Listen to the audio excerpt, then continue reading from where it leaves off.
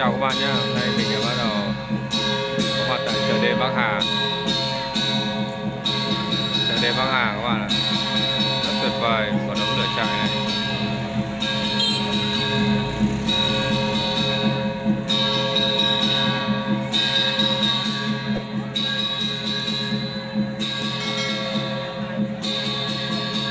Đấy, chợ đêm Bắc Hà đang à, có điệu múa xòe truyền thống của người Tày Bắc Hà.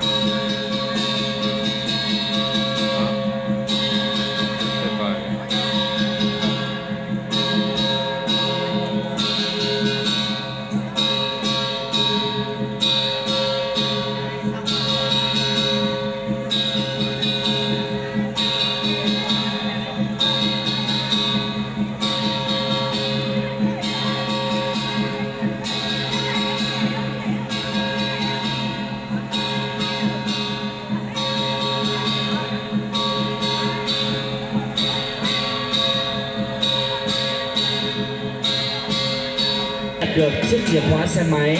Xin trở về chỗ âm thanh loa đài để gửi lại cho vị du khách của chúng ta.